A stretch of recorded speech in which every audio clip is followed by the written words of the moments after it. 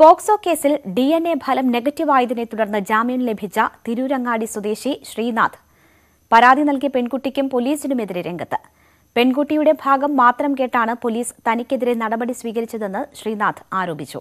പെൺകുട്ടിക്കും കുടുംബത്തിനുമെതിരെ നഷ്ടപരിഹാരം ആവശ്യപ്പെട്ട് കേസ് കൊടുക്കാനാണ് ശ്രീനാഥിന്റെ കുടുംബത്തിന്റെ തീരുമാനം. പ്രായപൂർത്തിയാകാത്ത പെൺകുട്ടി നൽകിയ മൊഴിയുടെ അടിസ്ഥാനത്തിൽ പോലീസ് നടപടി സ്വീകരിച്ചപ്പോൾ മുപ്പത്തഞ്ച് ദിവസമാണ് പീഡനക്കുറ്റത്തിന് ശ്രീനാഥ് ജയിലിൽ കിടന്നത്.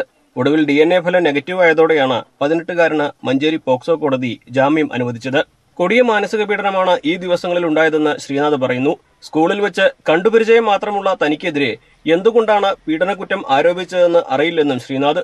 ഇല്ല പ്രണയത്തിലൊന്നല്ലേ സ്കൂളിൽ കണ്ട് അങ്ങനെ ഇപ്പോൾ കുറേ സ്കൂളിൽ നിന്ന് കണ്ട് അങ്ങനെ പരിചയം ഉണ്ടായിരുന്നു അതൊന്നുമില്ല ഇവർ കൽപ്പഞ്ചേരി പോലീസുകാർ കുറച്ച് നമ്മളായിട്ട് ബുദ്ധിമുട്ടിച്ചൊക്കെ ചെയ്തു കാരണം ചെയ്യാത്ത ഒരാളെ ഇവർ ഇതാക്കാണ്. കാരണം വെച്ചാൽ ഒരു കേസ് കിട്ടി വെച്ചിട്ട് ഇവർ വേടുത്ത് ചാടുന്നത് ഒരാളെ ചൂണ്ടിക്കാണിച്ച് അപ്പം എടുത്ത് അങ്ങനെയാണ് പറയണേ.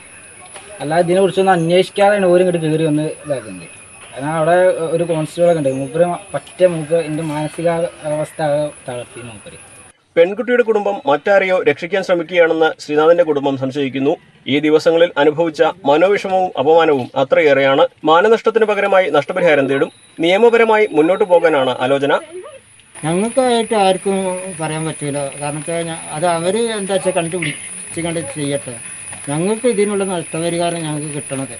ഇത്രയും ഒരു പ്രായമായ ഒരു പയ്യനെ ഇങ്ങനെ ഒരു കേസിൽ കുടുക്കിയ അവസ്ഥയിൽ ഇത് എന്തായാലും അവരൊരു നമുക്കിപ്പോൾ ഉണ്ടായ മാനനഷ്ടങ്ങൾക്ക് അവരെന്തായാലും ഉത്തരം പറയണ്ടേ?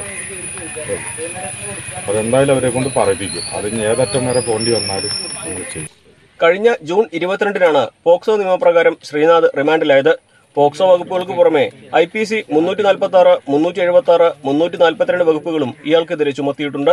ഡി എൻ എ ഫലം നെഗറ്റീവ് ആയതുകൊണ്ട് തന്നെ കേസിലെ തുടർ നടപടികൾ എങ്ങനെയാകുമെന്നത് കണ്ടറിയണം. News eighteen Malappuram.